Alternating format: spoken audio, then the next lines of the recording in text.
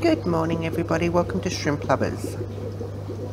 Here I'm doing a very quick little video on small 4, four to 5 centimetre peppermint bristlenose catfish.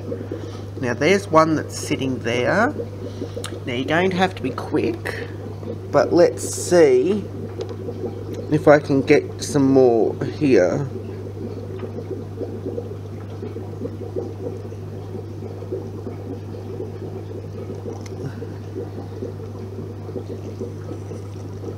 So there they all are underneath the sponge filter.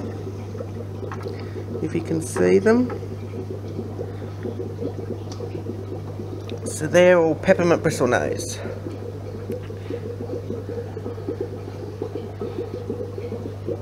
In with our neon tetras.